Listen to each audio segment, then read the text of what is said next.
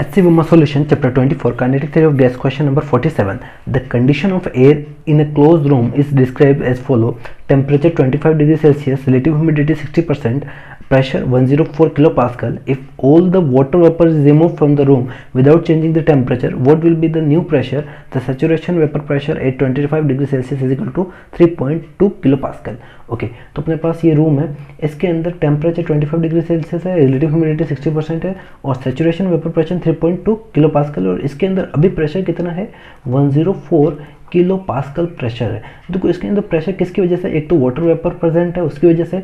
दूसरा air air की वजह से। तो टोटल प्रेशर कितना आ रहा है? 104 है। अब इन्होंने क्या बोला? इस रूम में से वोपर वेपर कंटेंट निकाल दिया। अगर वेपर कंटेंट निकाल दिया तो हवा बची। हवा बची तो उस हवा का प्रेशर क्या है? वो अपने को फाइंड करना है। यानी इसके अंदर प्रेशर क्या होगा? रूम बी के अंदर। वो अपने को फाइंड करना है। ए के अंदर अपने को प्रेशर गिवन है।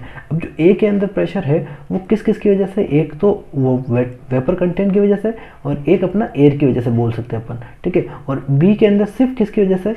एयर की वजह से। तो एयर की वजह से क्या प्रेशर वो फाइंड करना है? तो एयर की वजह से प्रेशर मैं निकालूँगा तो आपका ए रूम के रूम के अंदर जो प्रेशर है माइनस वेपर कंटेंट का प्रेशर है, वो निकाल दूँगा तो एयर का प्रेशर आ जाएगा, यानी बी का प्रेशर आ जाएगा। ठीक है? ओके तो यहाँ से सोल्व करते हैं। अपने पास ये दे रखा है zero one zero four kilo pascal okay kilo pascal लिख लेते हैं। ओके माइनस वेपर प्रेशर कितना होगा? देखो, यहाँ पे मैं सेचुरेशन वेपर प्रेशर गिवन है और रिलेटिव ह्यूमिडिटी भी गिवन है। तो रिलेटिव ह्यूमिडिटी होता है अपने पास, क्या होता है? Vapour pressure upon saturation vapour pressure right okay तो यहाँ पे वेपर प्रेशर कितना आ जाएगा? Vapour pressure is equal to आएगा relative humidity into saturated vapour pressure okay relative humidity 60 percent यानी 60 बाई हंड्रेड और सेचुरेशन वेपर प्रेशर कितना दे रखा है 3.2 किलो पास्कल तो अपने पास आंसर किलो पास्कल में आ जाएगा। इसको सोल्व करेंगे ज़ीरो ज़ीरो कैंसल और इसको सोल्व करेंगे तो ये अपना जो अपने पास आएगा 1.92 राइट